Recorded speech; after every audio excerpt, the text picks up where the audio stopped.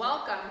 We're very excited to have our first fall band concert this evening. My name is, um, this now is the eighth grade group behind us here. So um, the, we hope you enjoy the first piece, Tales of a Medieval Warrior. Thank you.